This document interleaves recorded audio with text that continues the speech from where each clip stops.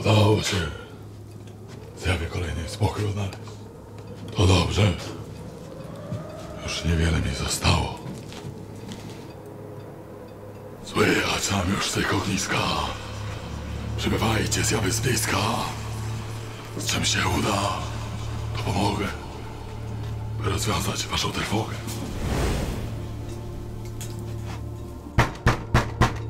Wejdź, zjawo.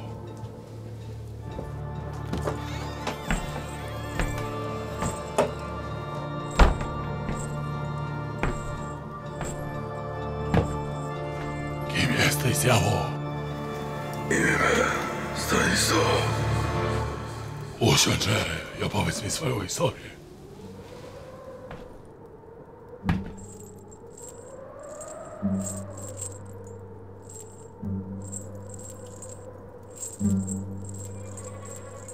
A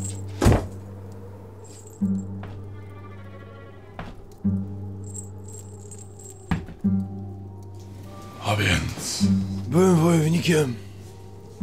Całe życie walczyłem. Wojeczki nauczył mnie mój ojciec. W naszym rodzie panowała zasada dwóch do jednego. Każdy pożyczony grosz podwójnie oddawaliśmy, a każdy wydany zysk podwójny przynosił. Za każdą ukradzioną krowę dwie złodziejowi zabijaliśmy. Kury po dwa jajka znosiły. Plony dwukrotne były. A i z ciąży dwójka dzieci zawsze się rodziła. Stosując się do tej zasady, ród mój miał dobrze i dobrze się nawiodło. A i zasada głównie złych rzeczy się tyczyła jeno. Wódz nasz dawniej turniej zorganizował. Wygrano w nim były jakieś tam mierne pieniądze. I co ważne, pocałunek księżniczki, w której byłem niezmiernie zakochany. Przystąpiliśmy do nich z bratem. Walczyliśmy dzielnie, aż stanęliśmy naprzeciwko siebie. W finale błagałem mego brata, by poddał walkę i wygrać mógł. I ku mojej uciesze zgodził się. Dzięki temu zyskałem względy księżniczki i pozycję na tyle wysoką, mógł się ubiegać o jej rękę. Wódz miał jednak inne plany. Wydał córkę swą za miernego rządcy ziemskiego na południu. I fortuna się ode mnie odwróciła. Cała trzoda zaczęła parami zdychać. A i zboże co roku pleśniało. A brat i ojciec uradzili wtem by w miejsce jednej utraconej księżniczki dwie uzyskał. Wyruszyłem w podróż po warowniach, zamkach i fortecach, szczęścia szukając. I w sumie pięć księżniczek zdobyłem. Jednak żadna szczęścia mi nie dała i fortuny nie zwróciła. Więc zostawiałem je kolejno i szukałem następnej. Jednak najwyraźniej ojciec jednej z nich nigdy mi nie wybaczył tego.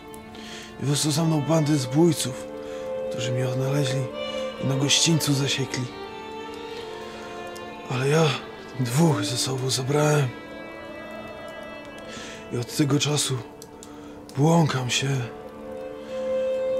i szukam powodu, dlaczego, cóż zrobić mogę i cóżem nie zrobił.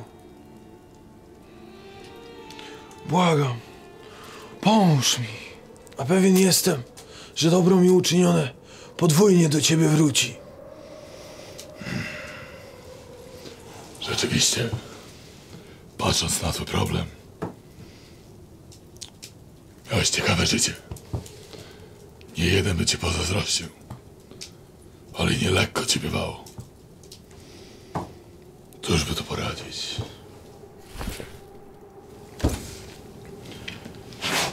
Opowiem ci moją historię. Mój ojciec, jego dziad, jak i pradziad byli guślarzami. Od zawsze ich podziwiałem.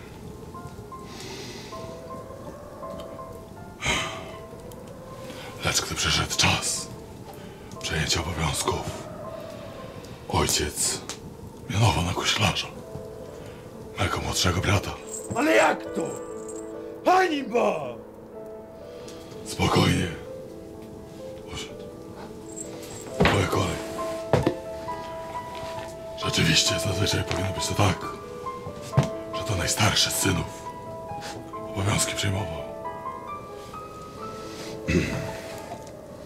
Lecz był od tego wyjątek. Jako jedyny z trójki synów mego ojca nie miałem ni żony, ni potomstwa.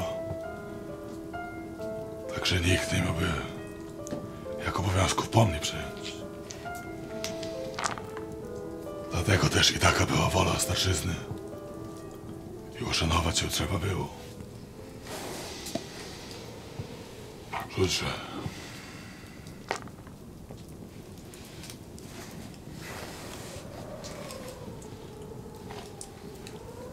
I w ten oto sposób trwoga twa spełniona została. Wygrałeś pojedynek w sposób nieuczciwy. Teraz dwa przegrałeś w również taki sposób. Odejdź z jawu. Ale jakże? Oszukałeś mnie! Ale z trwogi mnie, mnie, mnie wybawiłeś. Dzięki ci za to. Nie ma za to.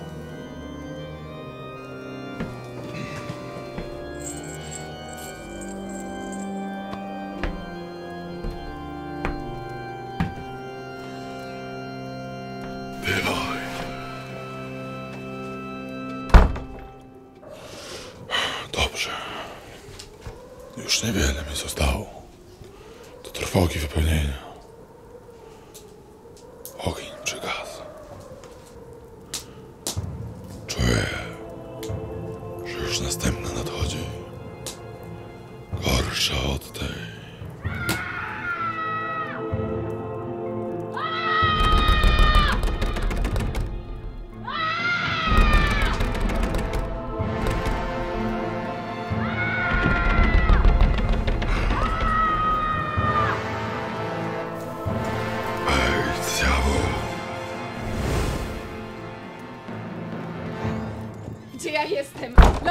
Błąkam? Kogo lub co zabić muszę, aby zaznać spokoju duszy? Mów! Spokój! Przecież po to tu jestem. By ci pomóc i na pytania odpowiedzieć. Kim jesteś i co tu robisz? Jak możesz nie wiedzieć? Jestem najstraszniejszą i najpotężniejszą piratką, jaką znało tylko Morze Śródziemne. Niewątpliwie. Lecz by ci pomóc, muszę cię poznać lepiej. Skoro to ma pomóc. Nazywam się Esmeralda. Krwawa Esmeralda. Ja i moja załoga sialiśmy postrach, gdziekolwiek się pojawiliśmy. Zabijaliśmy, łupiliśmy, kogo tylko mogliśmy i kogo chcieliśmy. I byliśmy. By rozwiązać twą trwogę, muszę poznać twoją historię od samego początku. Czyli co? Chcesz się dowiedzieć czegoś o moim dzieciństwie? Dobrze.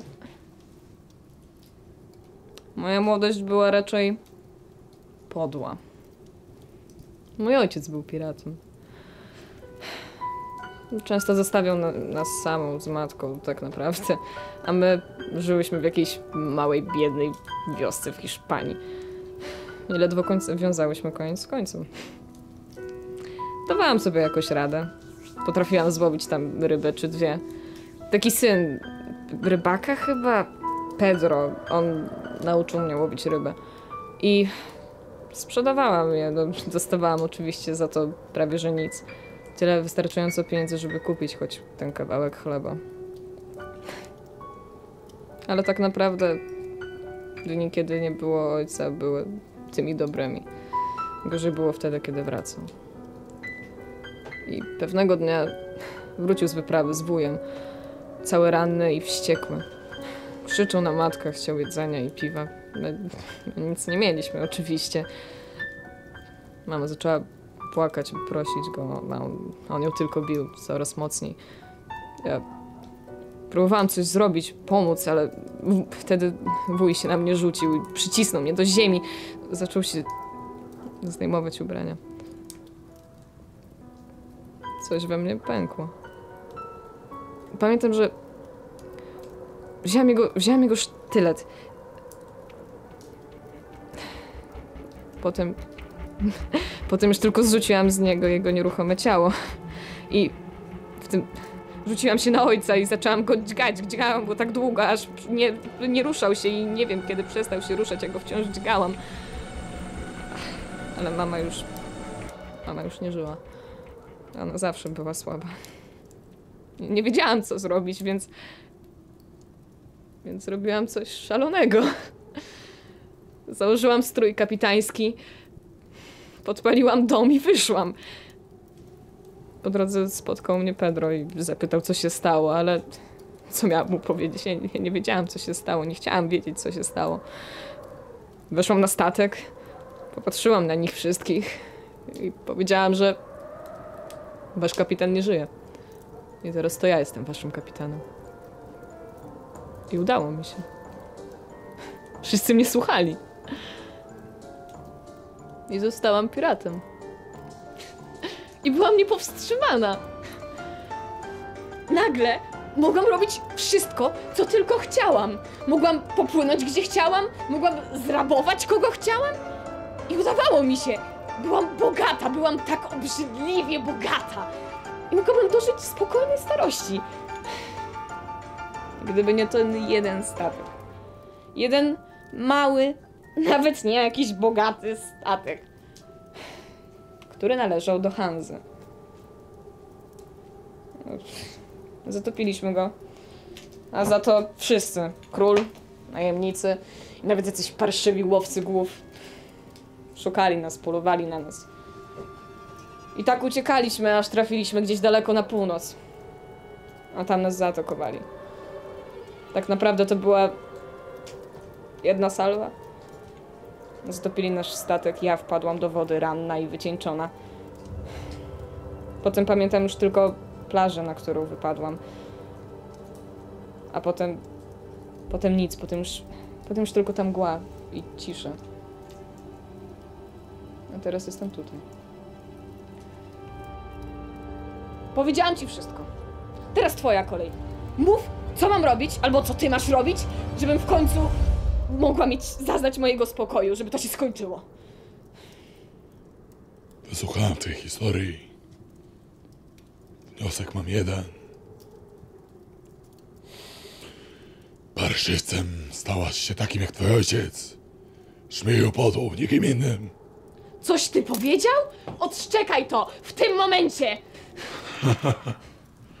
I co ci to da? Że mi gardło poderżniesz. Tobie to nie pomoże. Mi na pewno nie zaszkodzi. Wiedząc, jakim złym człowiekiem był twój ojciec, jak krzywdził innych i ciebie, obrałaś tą samą ścieżkę, mimo że miałaś wybór.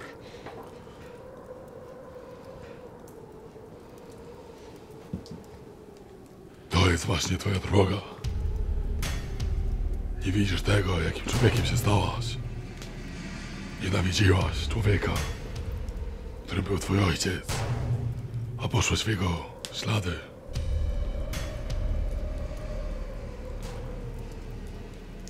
Musisz to sobie uświadomić i zmierzyć się z tym, kim jesteś.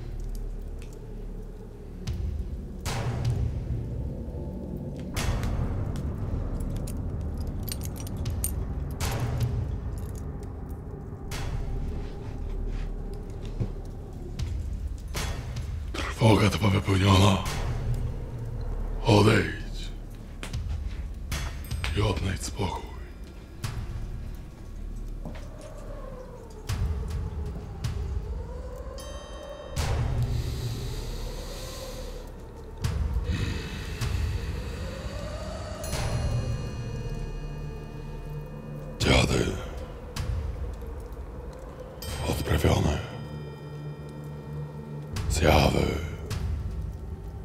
Spokój odnalazły. Więc i trwoga ma.